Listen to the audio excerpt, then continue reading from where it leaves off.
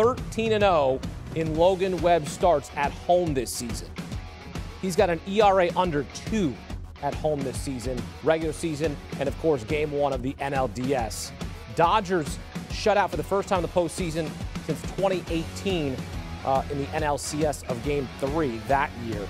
Uh, it'll be Julio Urias against Kevin Gausman in game two. So Julio Urias will look to help the Dodgers even up the series. Game goes under the total of seven as Logan Webb just, I mean, a spectacular outing. He spins a gem.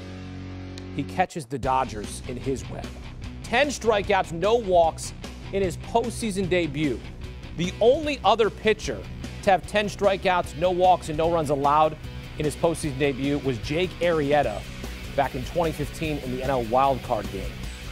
And uh, Logan Webb with a historic performance to get the Giants off to a great start in the NLDS, up 1 0 in the series against their arch rival, LA Dodgers. So welcome in former MLB Executive of the Year and CBS Sports Baseball insider Jim Bowden. Giants take game one behind a stellar outing from Logan Webb. Pitches into the eighth, seven and two thirds, five hits, no walk, strikes out 10 in his postseason debut. What'd you see from him on this night?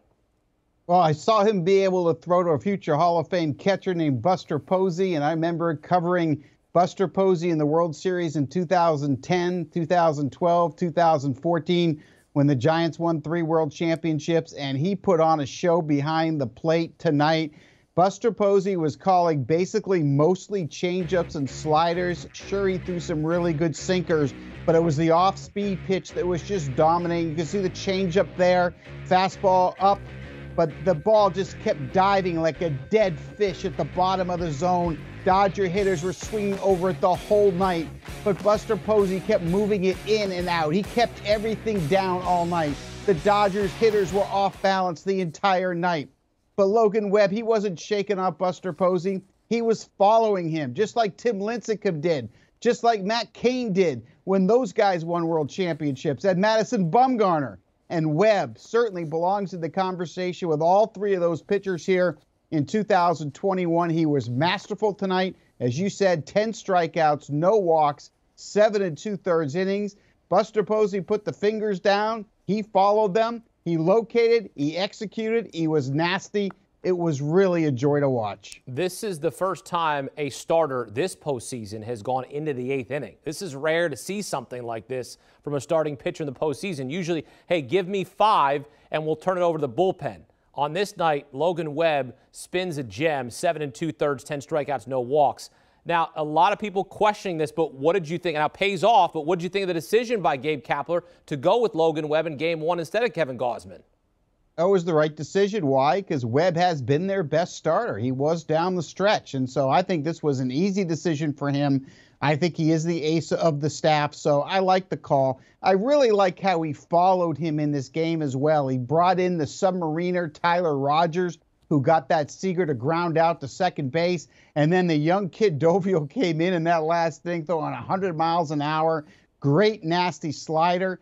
Two strikes in a row, and then the 100 mile an hour at the top of the strike zone. So the Dodger hitters had three completely different looks. It was absolutely managed perfectly by Gabe Kapler, not just the decision to start Webb, but to follow him properly uh, with Rogers and then, of course, Doval to, to, finish the game. And then offensively, you know, big story with Buster Posey. I mean, a 3 0 count, and Walker Buehler throws a fastball, four seamer outs, outside part of the plate. And Buster Posey showed tremendous power going the other way at night at Oracle Park. It is really hard to hit a ball that far into the water at night especially when the air is cold as it was uh, tonight there in San Francisco. And then, of course, Kris Bryant here later in the game gets a hold of one, rips one out to left field. And we can't leave Brandon Crawford out, right? Because yep. what he did in 2010, 12, and 14, he ended up hitting one later in the game as well. This was a great win for the Giants to start their NLDS against the Dodgers. Yeah, it was uh, Posey's first postseason season, uh, first postseason home run